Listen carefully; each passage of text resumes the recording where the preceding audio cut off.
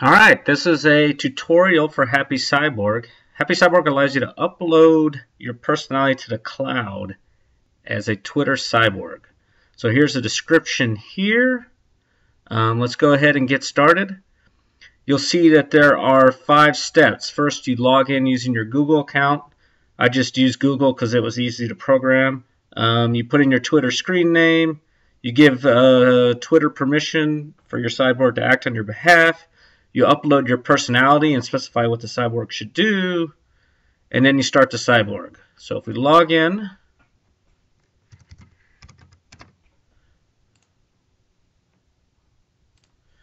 then uh, I had already set the screen name. The screen name is Happy Cyborg. I had already given it permission.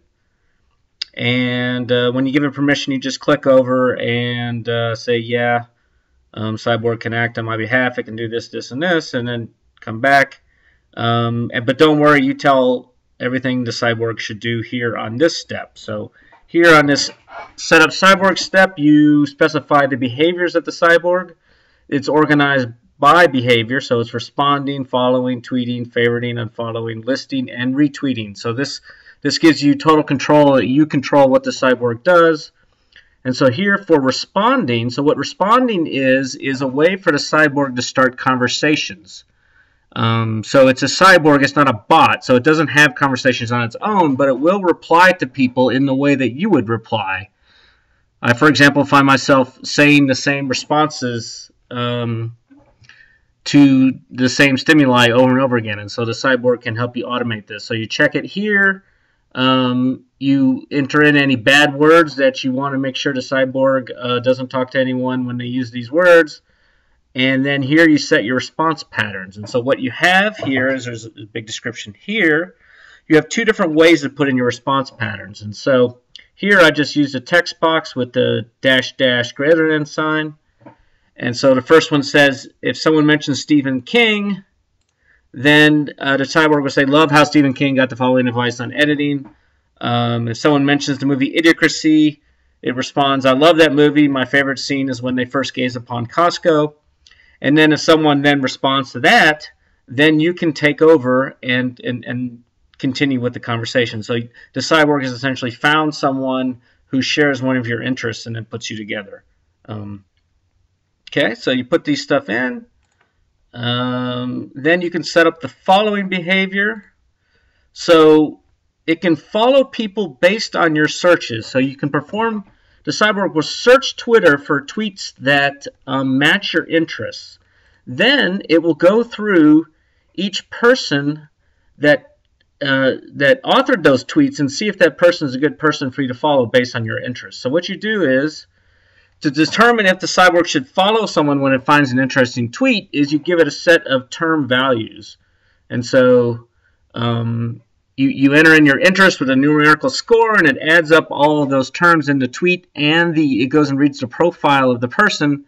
And if the the tweet and the profile both sum to 10 which is just an arbitrary threshold then the cyborg will follow that person if it's never followed that person before. And the tweet and bio don't contain any of the bad words you specified previously.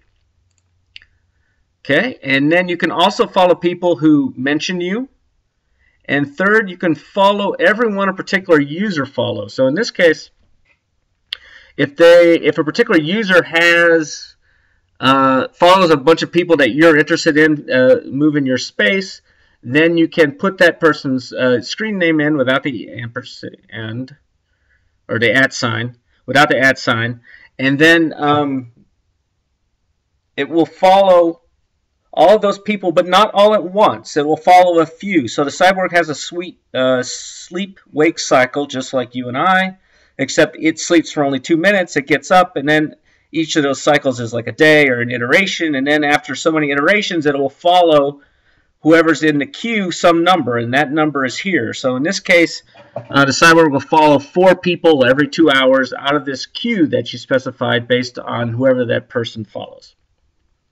And it keeps doing that until the queue is empty. Okay, so we've done responding and following.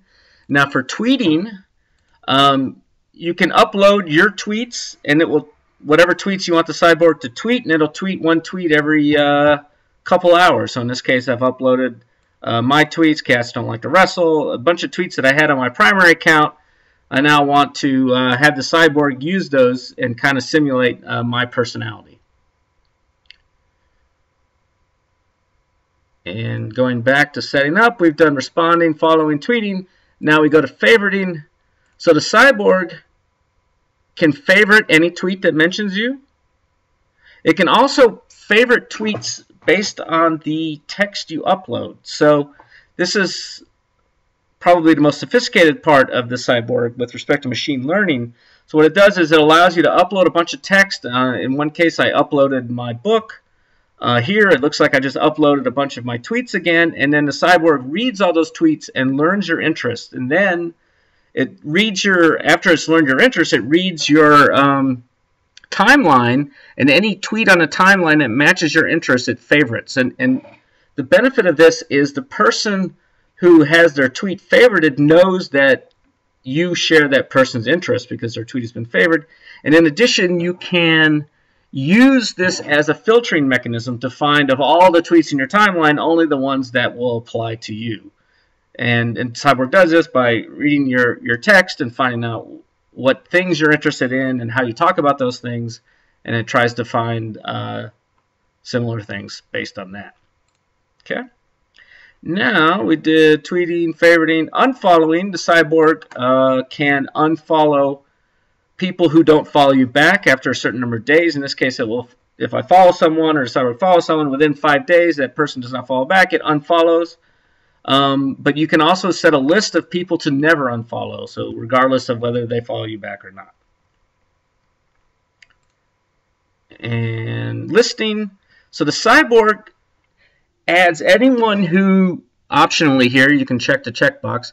The cyborg adds anyone who interacts with you to a public list.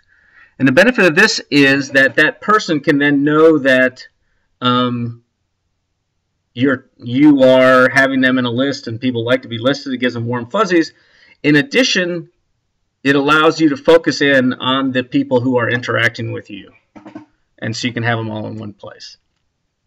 Okay. And now retweeting. You can also have the cyborg retweet. So in this case the phrase you could do worse than the curiosity cycle the curiosity cycle is my book and if someone types this exact phrase uh, modulo upper lowercase, types in this exact phrase. In the Twitter, it will uh, retweet that tweet with probability 1.0. So with, with, retweets, you want to be a little careful. Retweets can be annoying. You don't want to uh, be retweeting all the time. Um, so I could have just written curiosity cycle, um, and it would retweet more. Um, in addition, you could put in a probability here.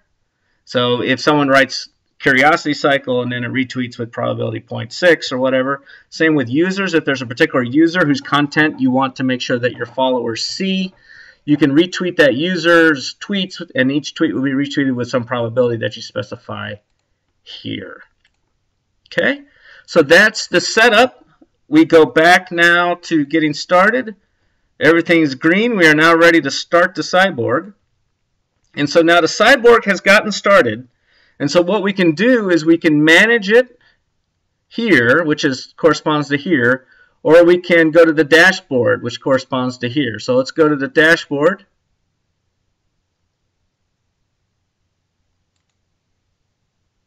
There we are. So now the cyborg is running. Um, we have, of the tweets I uploaded the tweet, there's 169 remaining in the queue.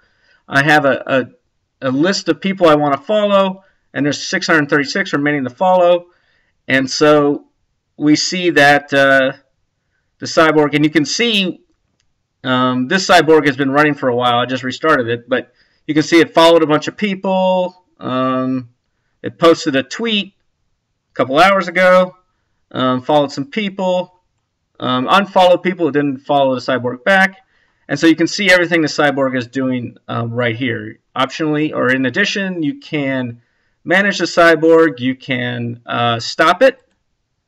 So if you want to go in and change your parameters, you can stop at any time, go change your parameters and restart it. You can also, if you want to unfollow in a one-off, or reset your response pattern. So the responses are interesting in that it will only respond a particular phrase once. because it, let's say you had, you know, anytime someone mentioned Darth Vader, and you could say, "Oh, that's my favorite character." You don't want it to be just saying that all over the internet because people are talking about Darth Vader all the time. All the time. So it'll just respond once until you come in here and reset it per response pattern, and so that ensures that the cyborg uh, speaks with a variety of things to say and doesn't just say the same thing over and over again. It will never say the same phrase to the same person, but if you want it to use the same phrase to possibly a different person, then you come in here and reset the, the patterns. Now we stop the cyborg. If we want to go uh, get it started again, we just go back to getting started. Um, we come in here and start the cyborg. And so that is everything. I hope you like it, and uh, just email me if you find any bugs or have any questions.